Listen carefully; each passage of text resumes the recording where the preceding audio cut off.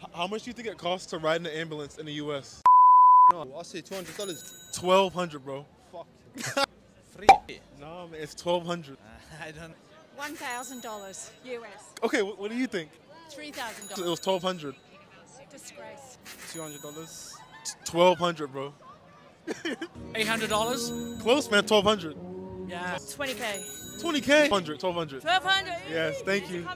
Fifty dollars. One hundred. It costs twelve hundred to get an ambulance. Like you can call an ambulance in the UK. They come next year. Yeah, exactly. Thousands, two thousand. on, on point. Twelve hundred.